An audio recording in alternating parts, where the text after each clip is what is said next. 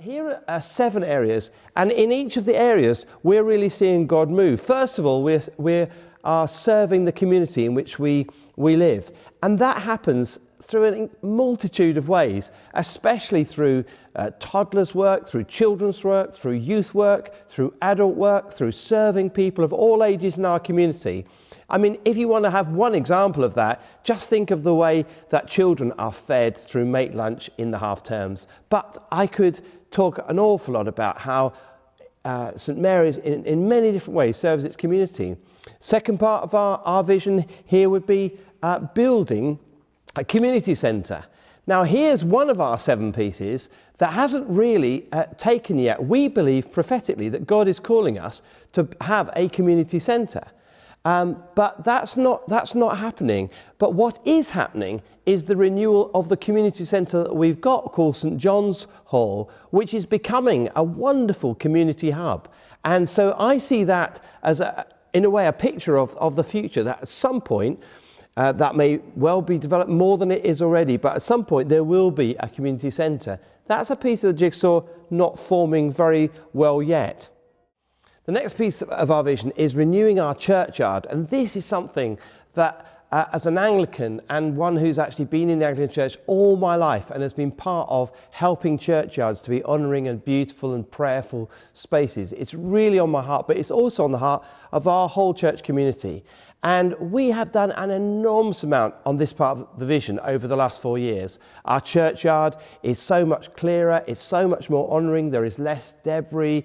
Uh, uh, dead trees, uh, fallen graves. Uh, there's been restoration going on, and it really is beginning uh, to look much more beautiful. We've actually got an awful lot more that we want to do in this churchyard, um, in that we want to plant it out, make it look even more beautiful, and renew, especially in the next coming two years. We want to see all the pathways in our church renewed, made wider, made safer, so that people with all sorts of disabilities can make it through our churchyard really easily can come to church really easily and can come and just sit quietly and pray in our churchyard.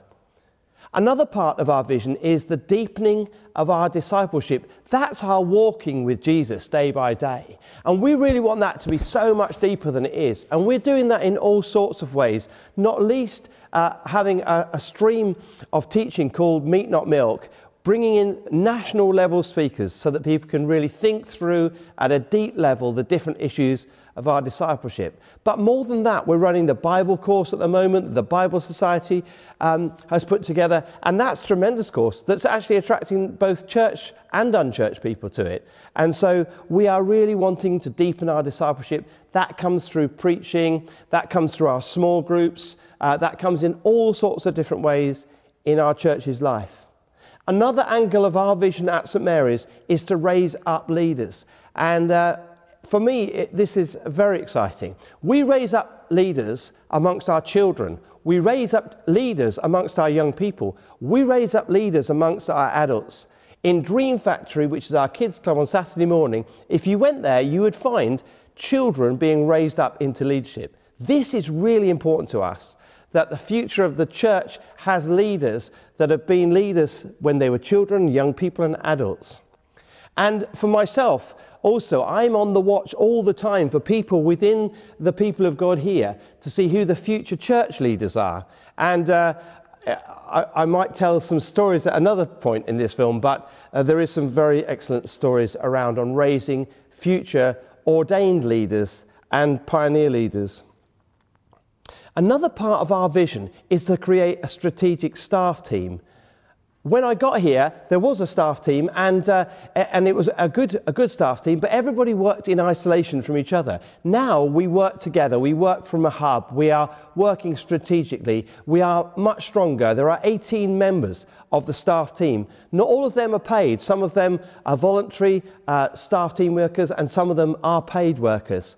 But we really have got now a strategic staff team. And what that has done is it's increased the capacity of the life and work of this church. And that's very exciting. So that part of the vision is really growing and is strong. Another part of our vision here at St Mary's is to pioneer new Christian communities. And we, we are doing that. It's part of my great passion as an evangelist and as a church planter. I, I long to see new communities of faith forming.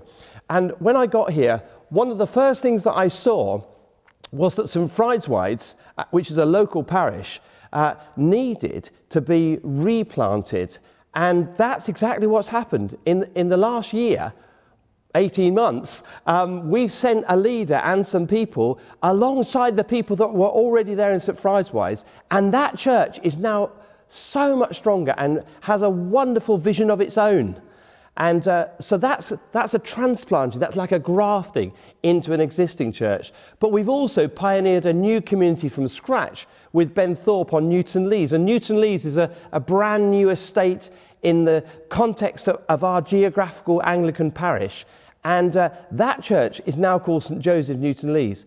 And it has 48 people, and 24 of those people, that's 50% of the population of that church, is from a totally unchurched background. They wouldn't be there unless we were there as St. Joseph's Newton Leys. And so we're really excited that we've been able to plant a pioneer church.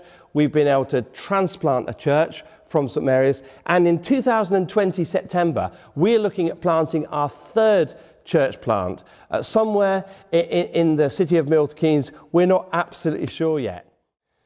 The fruit for me of planting churches is seeing and knowing that people are coming to Jesus Christ. It's about creative experimentation, and if it fails, that's okay. But as a Church of England, we must must experiment. We must try and reach out to, to rescue those who are without God and who will die without God unless we share Jesus Christ. And so that's what church planting is really, in essence, for me, is, is all about. And that is happening because I know that in both plants, people are coming to faith, being baptized, and becoming disciples of Jesus Christ. So that actually it's going to be lifelong, not just short lived.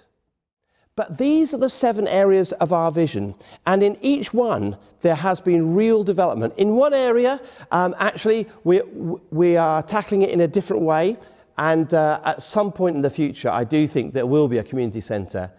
But as a church, we're really excited about our vision.